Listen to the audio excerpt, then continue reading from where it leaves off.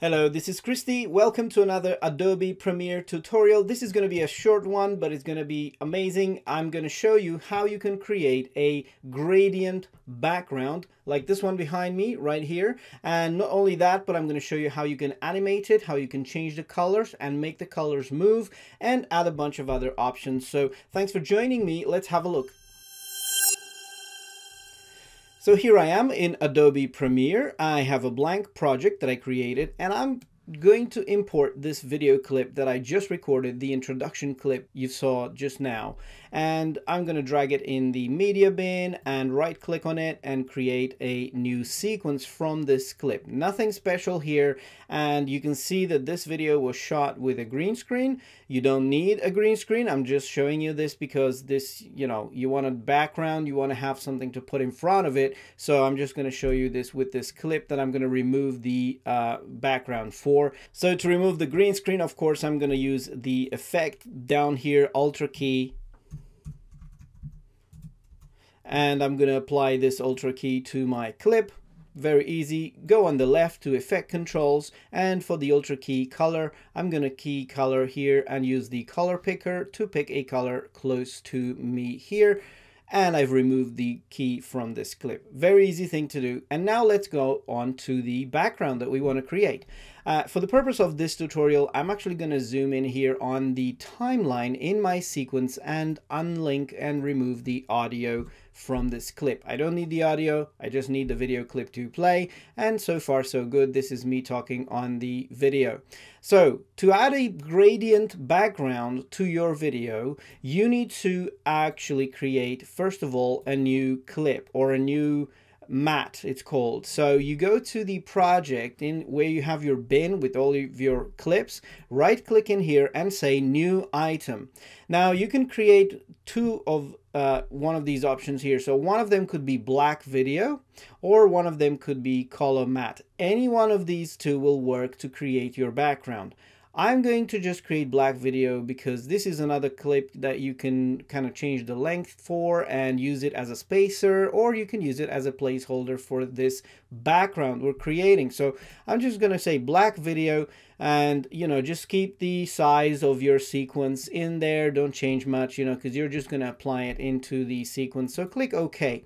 Now you can see black video on the on the bin here on the left. Just double click on it and say gradient. We're just giving it a name so we know what it is. So I'm going to actually make another track here below my video clip because that's where I want to put my gradient below my video clip so it can be seen behind me. So I'm going to just move this clip one track higher and I have this blank track down here. I'm going to put the gradient right down there. And after doing that, I'm going to expand the gradient clip to fill the whole duration of the uh, of the clip there. So now to create the gradient, very easy. On the bottom left here where you have the effects panel, if you don't see that by the way, you can go to window and turn on effects. Yes, so that's how you turn on the effects panel. And in the search box here, you can type gradient. So there's several options here. I'm going to use the four color gradient. This got four colors. You can create a four color gradient with it and just drag that onto your gradient clip here. You can see by default it already creates a four color gradient with uh, you know some of the extreme colors there so you don't have to keep those colors obviously. Now select this clip that you just applied the four color gradient to and on the left there go to effect controls. These effect controls actually help you control whatever happens with the effects applied for the clip you selected. If I select my clip with me on it, you can see that I have the ultra key there that I applied. So that's the effect applied to my clip but click on the gradient clip and you can see it's changing on the left there. So that is the uh, properties for the effects on this one. So you can see right here on the four color gradient that was applied, you can see the four colors that I applied to this clip. You can change any one of these colors individually. So if I want to change the yellow that is in the top left, click on the yellow clip and now here you can change the color. I'm going to choose some kind of purplish blue like this, very dark blue. There you go. The color has changed. Let me change the green color to something more uh, sort of light blue like this you know? So I'm creating kind of hues of blue maybe I'm going to leave the bottom right blue like that and I'm going to leave the purple alone because I want to show you how things animate around here. So uh, one of the properties you can change on these colors is the blending. So you can go down here and open the blend which means you're going to make the colors sort of merge into each other more instead of being more separated at the uh, edges. So watch this. If I turn this down or up, you can see it if I turn it all the way up. The colors mix much more. So the the sort of the boundary between the colors in the gradient changes uh, more smoothly. So now the colors are merging into each other much more. So I'm going to actually pull this down to about half. So I want to see where each color is more. So another thing you can change is the opacity of the whole thing. So if I want to still see maybe something else behind this gradient, you can turn the opacity down or up like this from here. I'm going to leave it at 100%. So now here's the cool part. This is your colors. And of course, if I don't like the fact that the purple is on the bottom left or whatever color that is pink, I have problems with pinks though, by the way, you can actually have for each one of the colors, you also have the sort of point coordinates where that color sort of is centered. So you can see now that the purple one is on the, uh, this one here on point three, that's point three, and it's 192 by 972. Now watch what happens if I click on 192, that's the um, horizontal by the way, and just drag that sideways.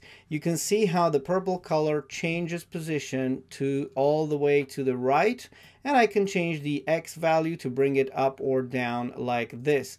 Of course, there's other colors in there, and then the prominence of this color will change because now it is pretty much occupying the same space as the blue, which is in the bottom right corner, and also it mixes with it. So now I want to take that blue away from there, so I'm going to switch the blue to the left side, and I'm going to bring the blue all the way to the left. You can see the blue now is on the bottom left and the purple has now become much brighter because I've removed the blue from that corner. So let's suppose that I want to move the purple uh, around my head for just an example. All you have to do is click on these two coordinates and just push it, you know, I'm going to push it to the left to bring it to the center. And if I hide the track with me on it, you can actually see this moving better. Look, I'm moving it left and right, and now I'm moving it up and down. So I'm moving this all the way here at the top. If I bring my clip back in, you see the purple is behind me. So this allows you to create sort of like those kind of very nice and smooth backgrounds that you can see maybe in some TV shows, uh, you know, in the old days, maybe you have these backgrounds and you can put them behind any object as soon as as long as that object has a transparency layer or like in this case where I remove the key the, the green screen with the with the key effect and now you can see through it with the uh, with the transparency. And let me show you another thing. If I want to animate these colors you can do that. So as you can see here on the left these properties are animatable. So you can actually animate the colors as well as the position of the colors and also the blending and, and, and some of the stuff in here. Everything you see on the effects control that has this sort of stopwatch next to it, that is a property you can animate. So if I want to have the very, uh, the purple color that I was just playing with, if I want to move it sort of from behind me from the left to the right, so I'm going to put it on the left here. So just pull it on the, on the left like this.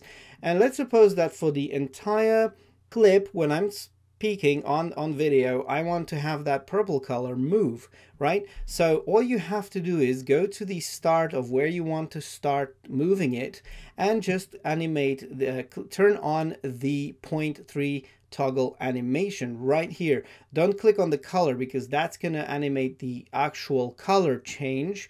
You go on the point three there that animates these two points, the position of the point. So click on that stopwatch. It turns blue. That means, and you can see here on the timeline, that it has created a keyframe for that particular position. Now, I want to move it all the way here and create another keyframe, which means if I change the value or click on this icon here to add a keyframe, I can add a keyframe. In this keyframe, I want to change the position of that color to the right. So leave it there, don't change the playhead, but go and change the X value and push the purple all the way to the right. So watch what happens now as the clip is playing the purple starts moving and look, it's traveling horizontally until it reaches the other side to the second keyframe. So because this effect has a four color gradient, you can do the same with all four colors. You can animate them all around so you can make the sort of background look like a bit of a, like a disco projection kind of thing uh, that you can see. So if I want for the same interval to maybe move the blue color this light blue here, I'm going to turn on the animation. It's going to record the current position and go to the final point of the animation and then create another keyframe here. And let's move this light blue to the very left side of the screen.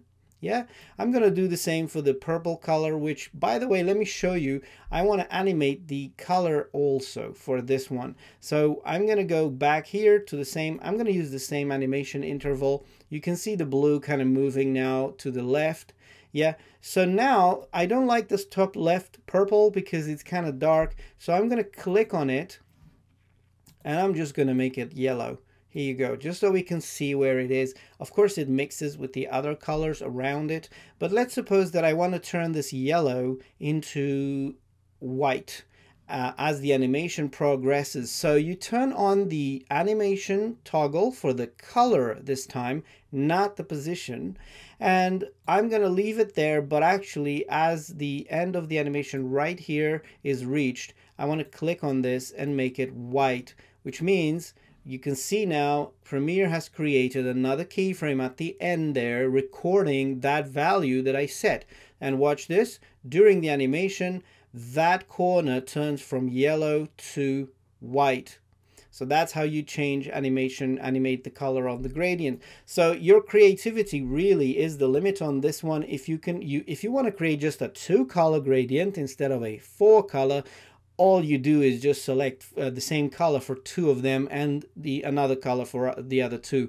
You know you're free to do this. If you do more than four colors i think it's a little much but that's up to you and your requirements. So this is a very easy way to create gradient backgrounds for any video clip in Adobe Premiere and you can reuse this by the way because if you go to your project you have your gradient in the bin here. You can copy this. You can re replicate it add another one if you want and also you can add the same effect multiple times to do an eight color gradient, change the opacity, and you know, you have a lot of a lot of options there. And yeah, so I hope this was helpful. Thank you very much for watching. And if you find this uh, tutorial helpful, I am planning on doing much more Adobe Premiere tutorials. And feel free to subscribe to my channel, give it a like, and um, I will see you on the next one.